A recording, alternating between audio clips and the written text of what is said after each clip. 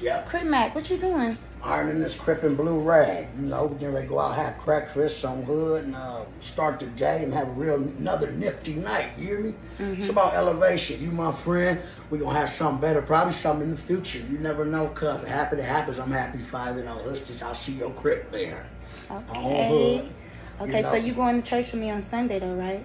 Church is something nifty. You know, I feed the homeless. I know you have a lot of inspiration and great things you're doing. You know, you do your own thing. You take care of your kids. You got your own increments. You are a great woman, I can say.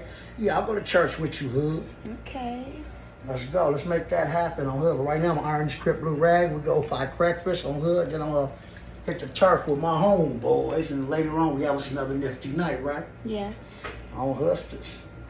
That's what we got going on on Hood, and uh, man, just it's just another beautiful day. On Yes. Hustlers called Elevation. Kel, look at her. Oh yeah. That's elevation right there. Kel, mm-hmm. that's that's that's what you want.